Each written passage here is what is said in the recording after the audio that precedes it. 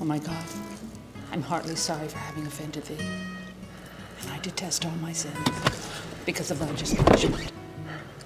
Most of all, because they offend thee, my God, who art all good and deserving of all my love.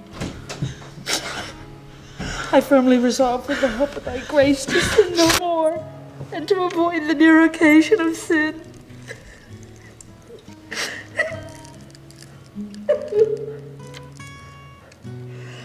You barge in here and you're preaching at me like I'm supposed to I just let you live I my life for me. I preach to you because I know the truth.